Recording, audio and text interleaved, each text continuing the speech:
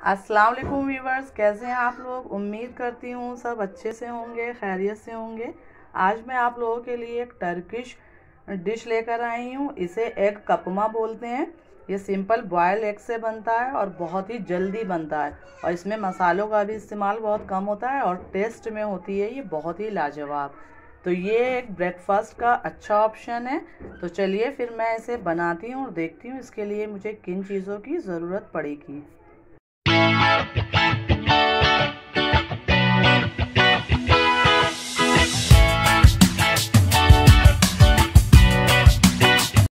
रहीम Turkish egg कपवा बनाने के लिए मैंने ये तीन हार्ड बॉयल एग लिए हैं। एग को हमें बहुत अच्छे से बॉयल करना है, बिल्कुल भी कच्चापन ना रह जाए। और इसे मैं इस तरीके से बीच से टू पार्ट में डिवाइड कर दूँगी। इस तरह से मैंने तीन एग का यूज़ किया है। आपको जितने भी एग लेने हो, आप लोग ले सकते हैं।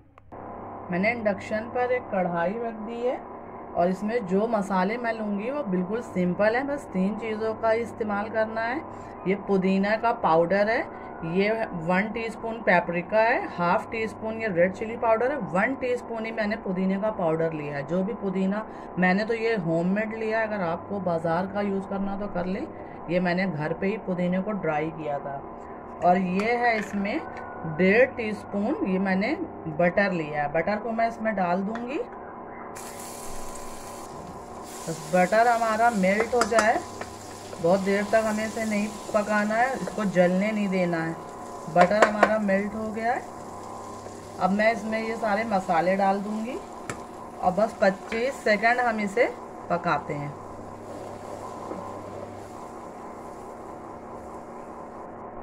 यहाँ पर मैं दो से तीन चुटकी नमक डाल दूँगी। नमक का ज़्यादा इस्तेमाल मुझे नहीं करना है, क्योंकि बटर में ही ये बन रहा है। बटर ऑलरेडी सॉल्टेड होता है।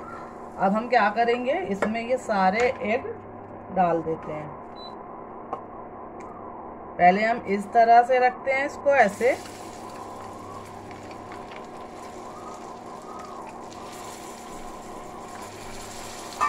बीस से पच्चीस सेकंड हमें इसे इस साइड से पकाना होगा, फिर हम इसे टर्न कर देंगे। अब मैं इसे टर्न कर देती हूँ। एक फोक से, जैसे भी आपको इजी लगे, इसको इस तरीके से टर्न कर देना है।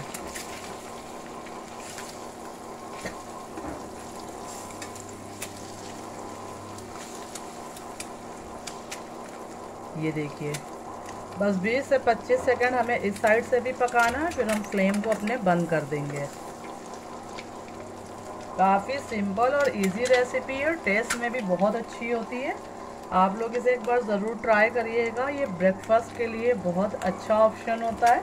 जल्दी से बनकर तैयार हो जाती है। अब हम इसके फ्लेम को ऑफ़ कर देते हैं, और ये हमारा एक कपमा रेडी हो चुका है।